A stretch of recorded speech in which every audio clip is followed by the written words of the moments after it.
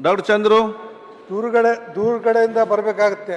ಆಯ್ತು ಹೇಳಿದಾರೆಲ್ಲ. ಅದನ್ನೇ ಅದನ್ನೇ ಇನ್ನೊಂದು ಸಲ ಪರಿಶೀಲನೆ ಮಾಡಿ ಆ, ಕೊಡುವಂಥ ಕೆಲಸ ಮಾಡಬೇಕಂತ. Okay good. ಚಂದ್ರು ಸಭಾಧ್ಯಕ್ಷರೇ ಆ, ಚುಕ್ಕೆ ಗುರುತಿನ ಪ್ರಶ್ನೆ ಆಯ್ತು. ಐದುನೂರ ಐವತ್ತೊಂಬತ್ತನ್ನ ಸಚಿವರಿಗೆ ಕೇಳಲಿಕ್ಕೆ ಬಯಸ್ತೀನಿ.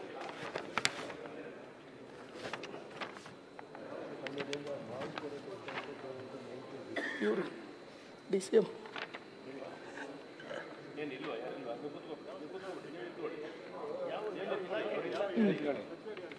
ಮನೆ ಉಪಮುಖ್ಯಮಂತ್ರಿ ಪರವಾಗಿ ಸಾರಿಗೆ ಸಚಿವರು ಅಧ್ಯಕ್ಷರೇ ಸಚಿವರಿಲ್ಲ ಅಧ್ಯಕ್ಷರೇ. ಅದೇ ಸಾರಿಗೆ ಸಚಿವ. ಉತ್ತರವನ್ನು ಒದಗಿಸಲಾಗಿದೆ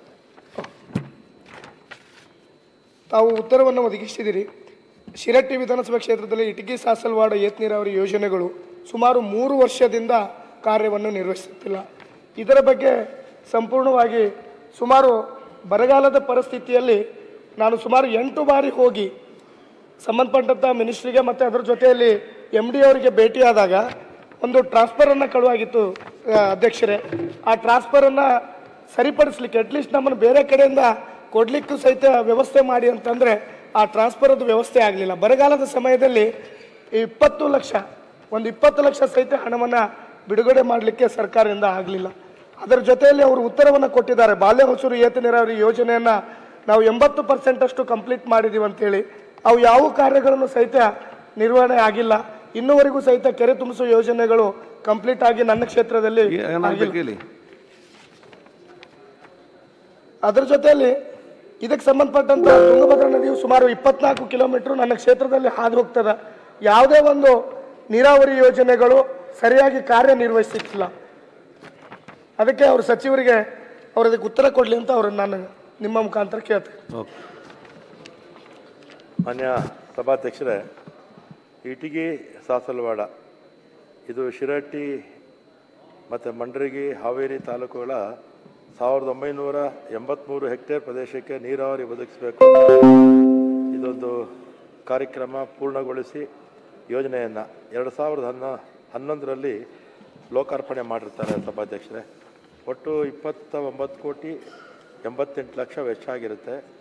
ಆಮೇಲೆ ಹದಿನೇಳು ಎಂಟು ಹದಿನೈದರಲ್ಲಿ ಉಸ್ತುವಾರಿ ನಿರ್ವಹಣೆಯನ್ನು, ಮ, ನೀರಾವರಿ ವಲಯ ಮನೀರಾ ಮನೀರಾಬಾದಕ್ಕೆ ಕೊಡ್ತಾರೆ.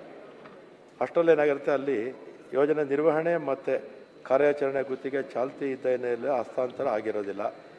ಮತ್ತು ತುಂಗಾ ಮೇಲ್ದಂಡೆ ಯೋಜನೆ ಶಿವಮೊಗ್ಗ ವಲಯದ ಅಧೀನ ರಾಣಿಬೆನ್ನೂರು ವಿಭಾಗದ ಕಚೇರಿಯಿಂದ ಹತ್ತೊಂಬತ್ತು ಇಪ್ಪತ್ತರಲ್ಲಿ ಸದರಿ ಯೋಜನೆ ನಿರ್ವಹಣೆಯನ್ನು ಮಾಡಿ ನೀರು ಹರಿಸಿದ್ದಾರೆ ಸಭಾಧ್ಯಕ್ಷರೇ.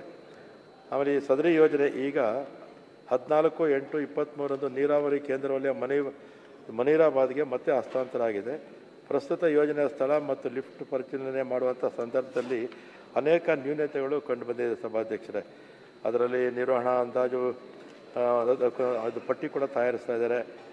ಇದು ಯೋಜನೆಯ ಪಂಪು, ಮೋಟಾರು, ಎಲೆಕ್ಟ್ರಿಕಲ್ಲು, ಕಾಲುವೆ, ಜಂಗಲ್ಲು ಹೂಳು ತೆಗೆಯೋದು, ಇತ್ಯಾದಿ ಪುನಶ್ಚೇತನ ಕಾರ್ಯಕ್ರಮಗಳಿಗೆ ಸುಮಾರು ಐದು ಕೋಟಿ ರೂಪಾಯಿ ಬೇಕಾಗಿತ್ತು ಸಭಾಧ್ಯಕ್ಷರೇ.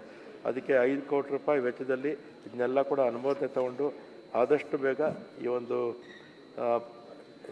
ಏನು ಕೆಲಸ ಅರ್ಧಂಬರ್ಧ ಇದಾಗಿದೆ, ನಿಂತೋಗಿದೆ, ನೀರು ಬರ್ತಾ ಇಲ್ಲ, ಇದನ್ನು ಮುಗಿಸುವಂಥ ಕೆಲಸವನ್ನು ಮಾಡ್ತೀವಿ ಓಕೆ.